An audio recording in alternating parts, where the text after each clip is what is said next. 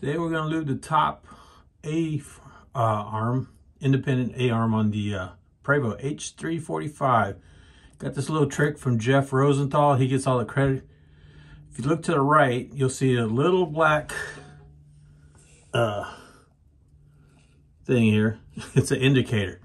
So to know that you pump the right amount of grease in there, all you have to do is watch it and it will come up. And there you go. That is good. Hope you learn, hope you learned some.